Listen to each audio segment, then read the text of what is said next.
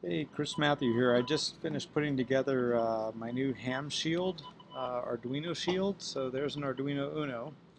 And on this side, there's the new ham shield from the Kickstarter uh, uh program. Um, got a little antenna here. It just uh, snaps on top of an Arduino Uno. And it comes with a bunch of cool uh, sketches. And I'm running a sketch here to test that it works and uh, you put in your uh, ham radio call sign here and uh, set it to a frequency. So right now I'm on uh, VHF 145.570 and uh, every 30 seconds, so you can kind of see in this this uh, this loop it's running right here. Every 30 seconds, it's looping and transmitting N7ICE Arduino ham shield you can see from this console uh, when it's transmitting, and I have a tiny little ICOM uh, radio here. I'll turn the volume up. You can hear when it kicks off.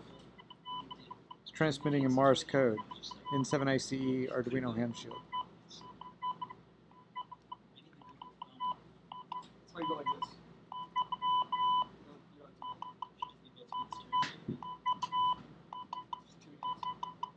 Full range of screen. Pretty cool, right?